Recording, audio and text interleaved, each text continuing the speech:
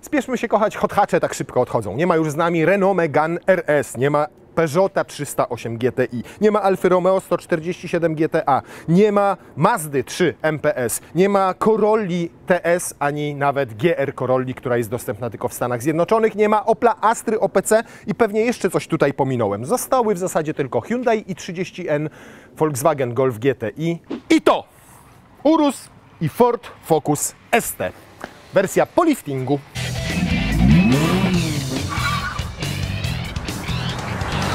Testowaliśmy to auto w wersji przedliftowej jakieś 3 lata temu i tam w katalogu producent napisał, że przyspiesza do setki w 5,7 sekundy, ale zrobiliśmy czas pod tytułem 7,5 sekundy, czyli ktoś popełnił czeski błąd w katalogu. Śmialiście się wtedy w komentarzach, że Bąk nie potrafi przyspieszać manualem. I tym razem wcale nie będzie lepiej, bo też dostaliśmy manual i wersję pięciodrzwiową, a jeżeli mamy manual i jeżeli mamy wersję pięciodrzwiową, to tym razem trafił się też nam pakiet Performance. I to oznacza, że to jest zupełnie inny fokus niż ten, którego testowaliśmy 3 lata temu. Tutaj pod maską nic się nie zmieniło akurat również w wersji Performance, gdyż mamy ten sam motor 2,3 litra EcoBoost, 4 cylindry produkujący 280 koni mechanicznych i ponad 400 Nm, 420 tak bardziej jak w dieslu. Natomiast na ten moment obrotowy jest dostępny maksymalny w bardzo wąskim zakresie obrotów.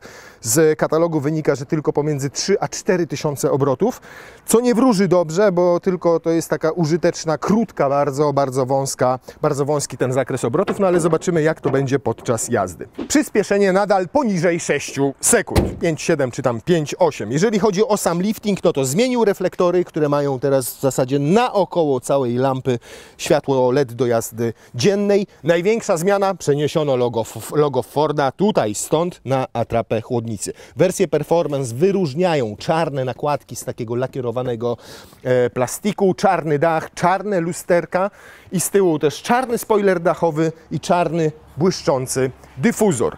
Natomiast zmian mechanicznych jest znacznie więcej. Do wersji Performance trafiły hamulce Brembo. Mają tarcze większe o 10% od tych, od tych w standardowym ST.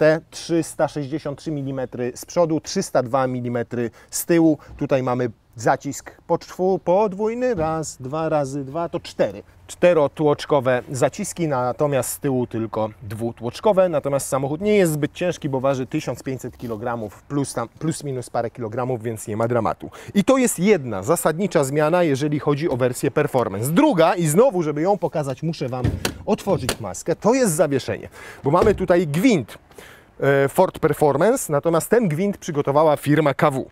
I ten gwint jest regulowany. Możecie sobie nie tylko gwintem zmieniać wysokość samochodu, ale możecie też regulować sobie dobicie i odbicie. I żeby pokazać Wam czym je regulować, to teraz muszę otworzyć bagażnik. O, bo w bagażniku macie coś takiego, Ford per Performance Parts, Colorber. Passenger Stanisław Paluch, please. I tu macie dwa takie narzędzia. To narzędzie na przykład jedziecie na tor, pozwala Wam zdjąć koło, na przykład na lewarku, to wystarczy i tam pokręcić sobie śrubą, żeby regulować zawieszenie w górę i w dół. Ale oprócz tego jest jeszcze taka nasadeczka imbusowa z napisem rebound, czyli odbicie. I tym sobie regulujecie tutaj na kielichach odbicie amortyzatorów. Jest jednak pewien problem, no bo jedziecie na przykład na track day i chcielibyście bardzo szybko sobie, już nie mówię zdejmować koło i ustawiać wysokość auta, bo to jest zbędne, najważniejsze to jest zawsze dobicie i odbicie, bo na torze auto zachowuje się inaczej.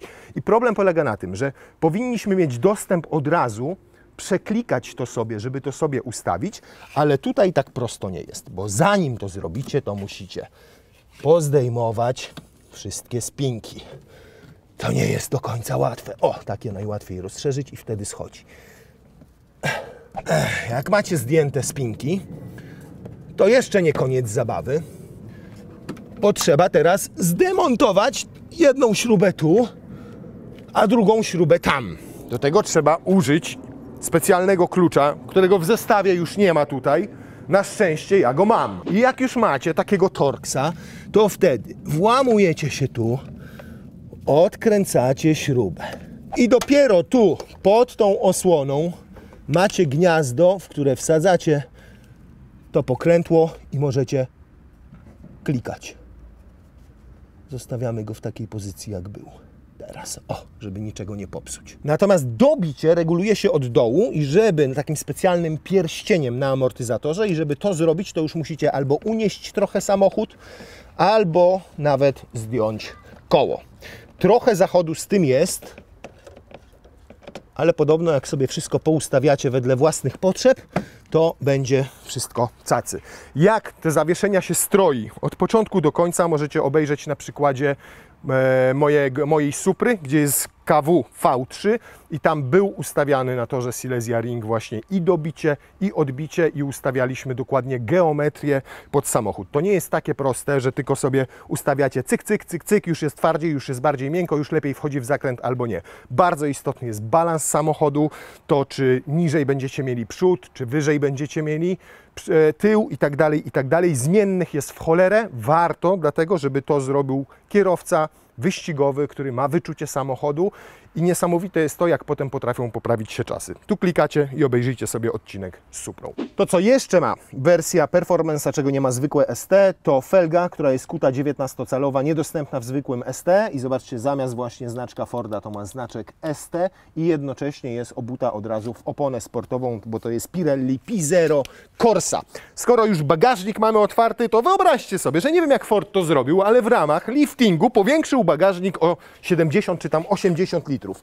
Bo o ile w poprzedniku to było 270 litrów, to tutaj już naprawdę jest kawałek tego bagażnika i ma tych litrów 341. A miałby jeszcze więcej niż 341, bo miałby 380, gdyby nie to, czyli wzmacniać systemu B&O który tutaj w naszej wersji jest, a normalnie jest opcjonalny. Natomiast nie wiem, jakby miał więcej, skoro to wtedy jest e, i tak ogranicza obniżenie podłogi. Natomiast podejrzewam, że wówczas mieści się tutaj jakiś schowek zwyczajnie, który ma takich dodatkowych 30-40 litrów i jest pod podłogą.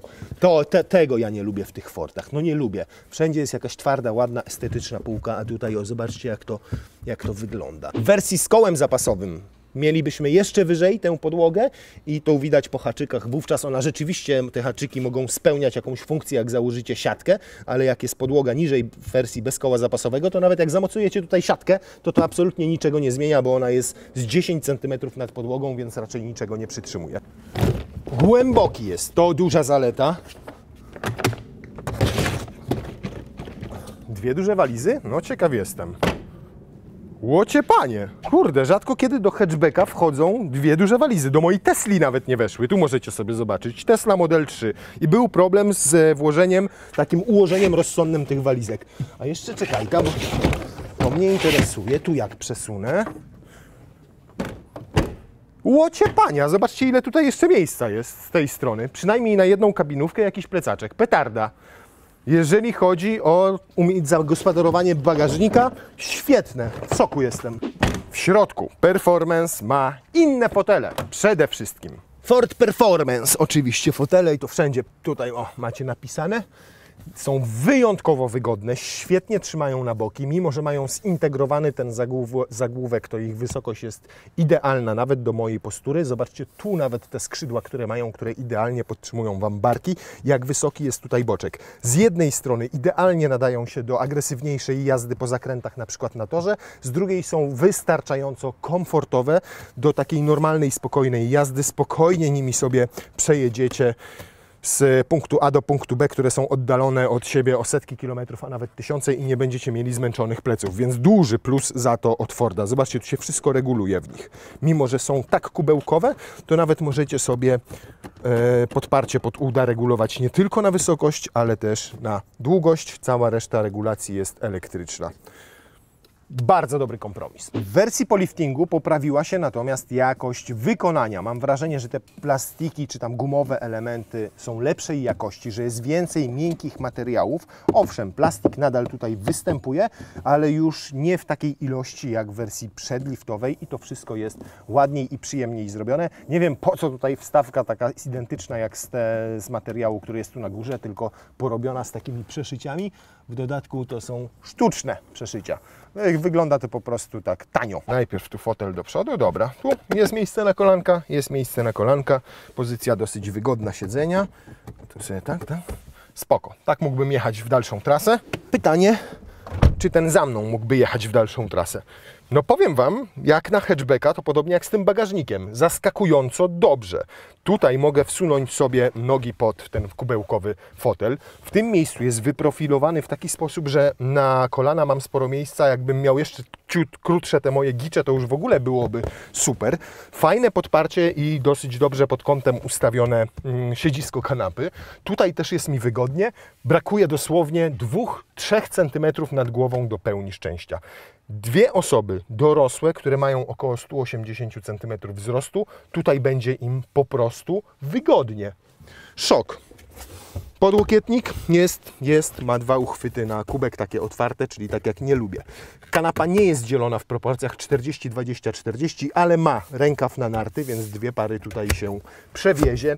Siateczki, dwa gniazda USB-C, nie ma nawet jednego nawiewu klimatyzacji na tył. To, to, akurat szkoda, to może rzeczywiście ten komfort trochę ograniczyć. Może jest w opcjach i do naszego samochodu nie trafiło. To świetne rozwiązanie i to bardzo lubimy w Fordach, czyli osłona rantu drzwi, żeby jak dzieci otwierają i na przykład przywalić by chciały w kamerę, to nic nie zrobią.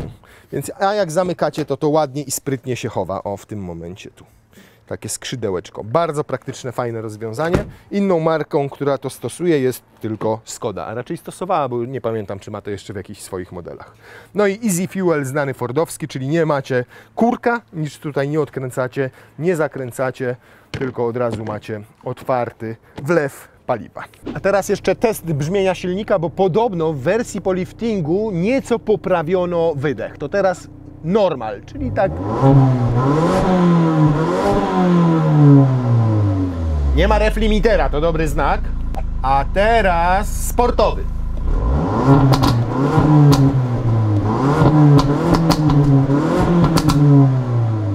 I jeszcze tor wyścigowy.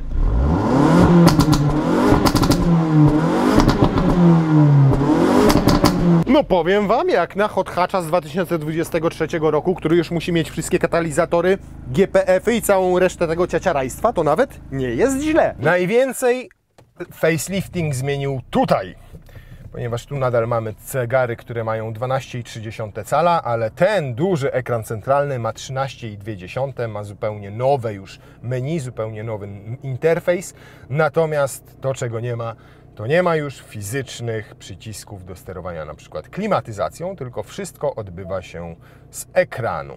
I jeszcze fajnie byłoby, gdyby to się odbywało szybko, ale niestety odbywa się to wolno. Bardzo wolno. Zanim coś tutaj się włączy, zanim coś tutaj się kliknie, to jest taka irytująca, krótka przerwa, a czasami nawet dłuższa. Zobaczcie, jak się teraz się włączała klimatyzacja. Widzieliście, jak długo to robiła? A teraz ją chcę na przykład schować. A tu, a nie, tu wyłączyłem. O, no i tak to niestety. Tak to niestety wygląda, ale Apple CarPlay jest już za to bezprzewodowo. Funkcje.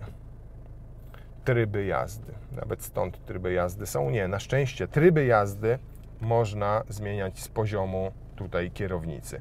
Czyli wrzucamy mode, szybko je wywołujemy, ale wtedy musimy, o, tutaj go pstryknąć. Innym przyciskiem, czyli S, możecie przerzucać się bezpośrednio tylko pomiędzy trybem normalnym i sportowym. Wówczas też widać na zegarach, że sporo się zmienia. One mają wtedy inną barwę, chociaż same zegary są dosyć podobne.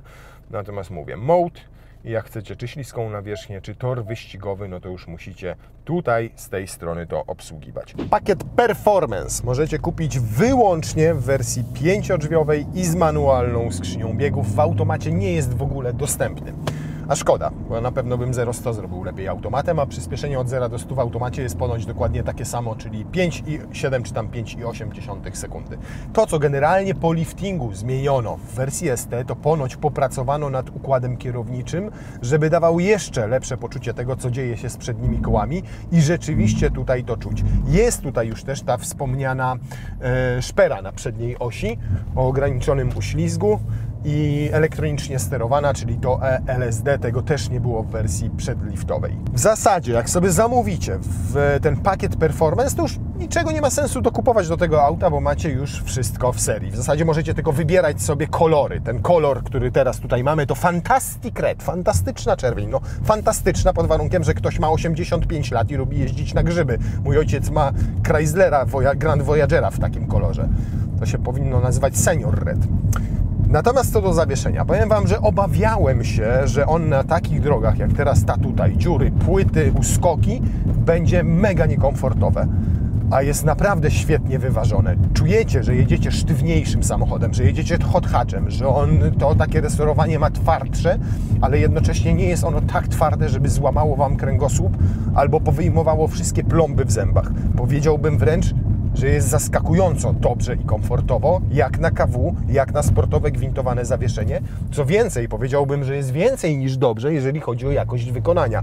Bo sportowe auto, które ma 12 prawie tysięcy, 11 350 przebiegu, w rękach dziennikarzy, no to kiedyś Fordy po przejechaniu taką e, drogą, te dziennikarskie, no to odsyłane byłyby do fabryki w oddzielnych pudełkach, a tutaj nawet nic nie trzeszczało, więc za jakość wykonania duży plus. Raz, że poprawiły się materiały, aż dwa, chyba to wszystko zostało porządniej posklejane.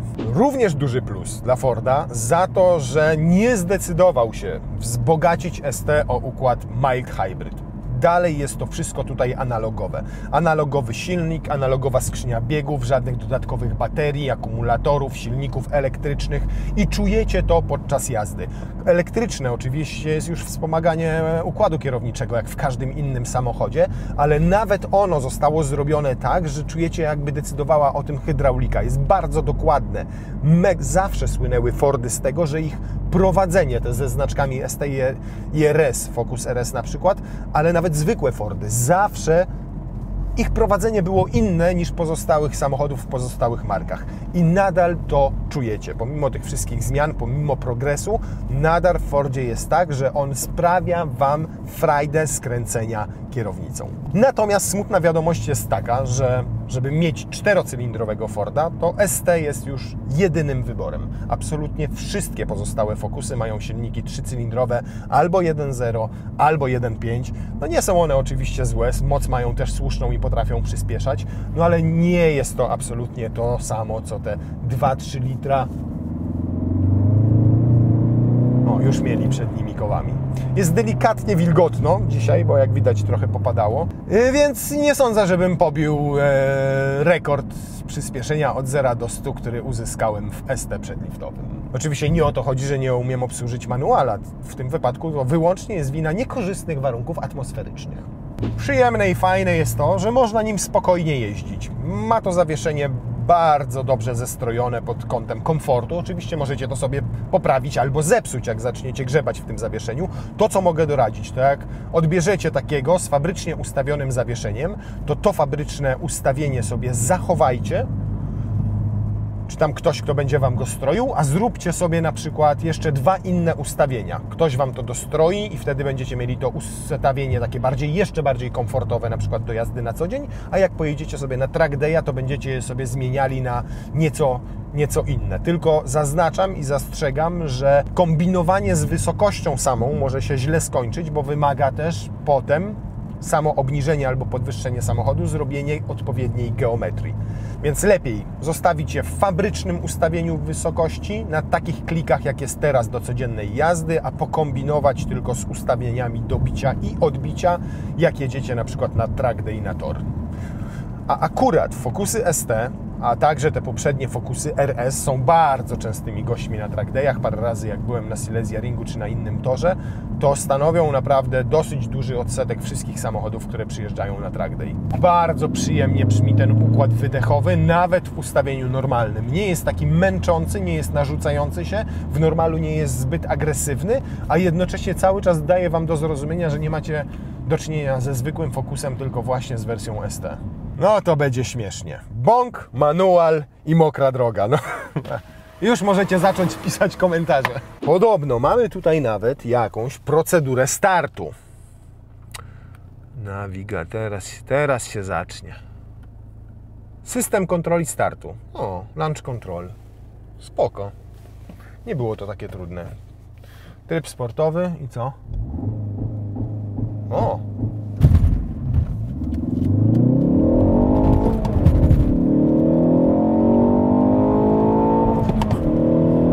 Nie dochodzi do 100 na dwójce. Ile ja mówiłem? 5, 8, 6, 7. Nie ma dramatu jak na mokro. Wow! 6,7. Nie jest źle. Jak przytrzymaj. ESC tryb sportowy. Mm, To jest. Ale jak wyłączymy w ogóle, aby wyłączyć ESC. Ale to będzie mielił i mielił, i mielił i mielił. Ale jest wyłączone. Ok, dobra.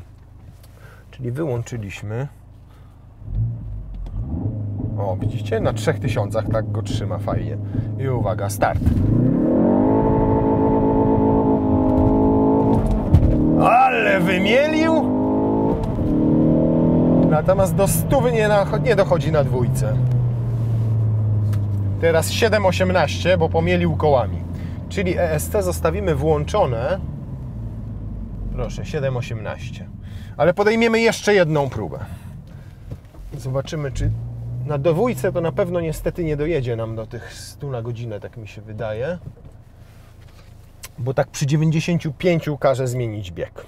W sensie kończy mu się wena przy 6400 obrotów. Pomimo tego, że w tych danych fabrycznych jest bardzo wąski ten zakres maksymalnego momentu obrotowego, to on zaskakująco płynnie, fajnie przyspiesza.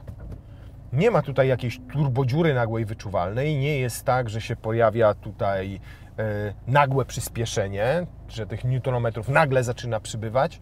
No tak jest, przynajmniej na tym mokrym jest tak, tak odczuwam to. O.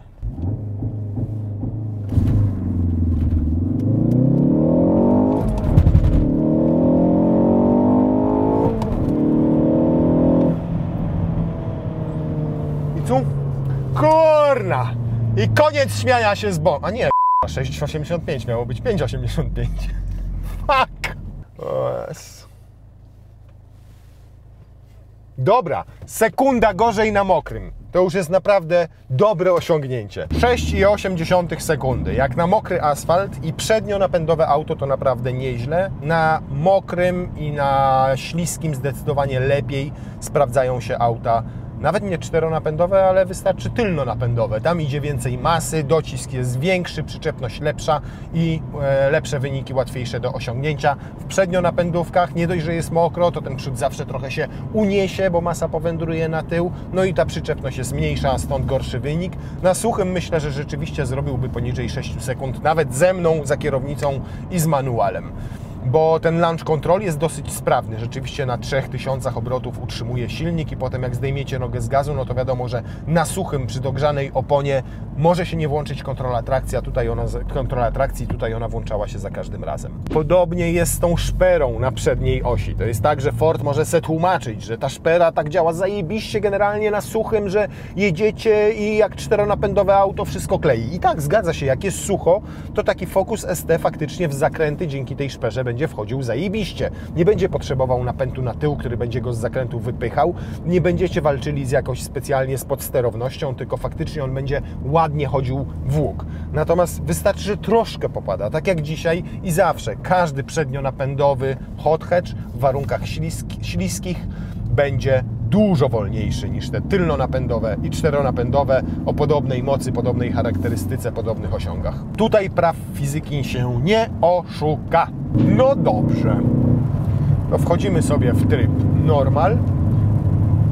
Bardzo duża jest różnica w tym wydechu pomiędzy sportowym a normalnym. Przy 120 on naprawdę tam delikatnie sobie poburkuje, nie jest jakoś specjalnie męczący dla uszu. Natomiast generalnie samo auto, jak pada, betonowa nawierzchnia, no to przy 120 już czujecie i słyszycie, że jedziecie to 120. Zaletą hot hatchy zawsze było właśnie to i po to ludzie je kupowali, że gwarantowały Wam za rozsądne pieniądze trochę emocji, a jednocześnie były dosyć tanie w eksploatacji. Czyli przy normalnych prędkościach paliły zbliżone ilości paliwa, spalały zbliżone ilości paliwa jak samochody z konwencjonalnymi, ale normalnymi silnikami, a nie o mocy powyżej 200 koni mechanicznych. Poza szperą seryjnie jest tutaj już system Ref Match, czyli wyrównuje Wam obroty silnika pomiędzy biegami. Jak chcecie zredukować, to dosłownie parę sekund wcześniej podnosi Wam obroty silnika pomiędzy jednym a drugim przełożeniem, na przykład czwórki na trójkę w trybie sportowym. Przydatne na torze i w sportowych warunkach. Proszę bardzo, 7,5 litra przy 120 średnio na godzinę i z moich kilkudniowych testów wynika, że między 7 i 8 litrów spalicie w Focusie ST z pakietem Performance jeżdżąc zupełnie normalnie. Nie pałując, nie szalejąc, tylko jeżdżąc jak, tak, jakbyście jeździli normalnym Focusem 1.0 czy tam 1.5 EcoBoost. Bardzo przyzwoity wynik, naprawdę, jak na auto, które ma 280 koni, robi tę setkę poniżej 6 sekund i naprawdę nawet w takiej normalnej, codziennej jeździe daje sporo frajdy skręcenia kierownicą, to całkiem dobry wynik. Ile za to trzeba zapłacić? No dzisiaj takie auta nie są tanie. Kiedyś hot stówka, 120 tysięcy, pamiętam takie czasy, 150 można było kupić bardzo dobrego Hyundai'a i30N. Teraz wyjściowa cena za Focusa ST to 180 tysięcy złotych plus 16 musicie dołożyć za pakiet Performance, ale wówczas macie już w zasadzie kompletnie wyposażone auto, nie ma co szaleć z dodatkami, fotele już macie w standardzie, te wszystkie systemy w Performance macie w standardzie, czyli ref i przednią szperę, więc naprawdę już takim autem można się pobawić. Co więcej, można sobie dokupić wersję kombi na przykład, albo automat za 10 tysięcy złotych, jeżeli dobrze pamiętam. Jeżeli na performance Wam nie zależy, bo nie wiem, nie jeździcie po torze i niepotrzebny Wam jest choćby, nie wiem, te hamulce lepsze albo to zawieszenie gwintowane, to możecie sobie wziąć zwykłego Focusa, możecie doposażyć go w skrzynię automatyczną, a czy zwykłego Focusa ST oczywiście, doposażyć go w skrzynię automatyczną, na przykład parę innych dodatków i też Wam się spodoba, bo przecież moc jest ta sama, przyspieszenie jest dokładnie to samo. Więc Focus ST z pakietem Performance? Tak, Zdecydowanie tak, tym bardziej, że takie samochody umierają i tak jak mówiliśmy, mamy już nieprzyzwoicie drogą Hondę Type R w zasadzie tylko na rynku, Hyundai i30N, który też jest bardzo dobrym kompaktem, no i Golfa GTI, który w e, ósmej generacji jakoś wcale specjalnie mnie nie urzeka. Więc w zasadzie Hyundai i30N i Ford Focus ST Performance. Dwa moje typy, ostatnie, wymierające Proszę się nie bać, proszę próbować, bo to fajne auta są.